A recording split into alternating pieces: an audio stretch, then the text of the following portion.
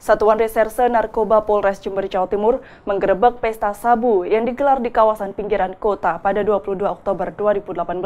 Dari penggerebekan tersebut, polisi menangkap lima pengedar sekaligus pemakai sabu beserta barang bukti sabu dan alat hisap.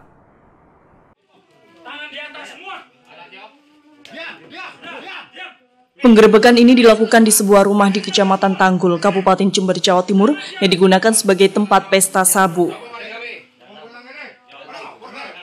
Dalam penggerebekan tersebut, polisi menangkap lima orang dan menyita barang bukti sabu serta alat hisap yang tercecer di atas tempat tidur.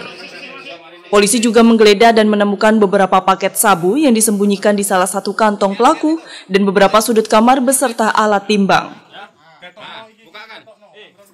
Polisi kemudian mengembangkan kasus ini dan menangkap lagi delapan orang pelaku lainnya yang merupakan pengedar obat-obatan keras berbahaya awalnya kita dapat informasi dari TKP pasar ya, yang mana eh, salah satu rumah yang kita duga itu kita razia dan kedapatan di sana bertiga sedang mengkonsumsi, eh, kemudian eh, dapat barang itunya dari tersangka bandarnya dan kami kejar bandarnya, bandarnya juga kena.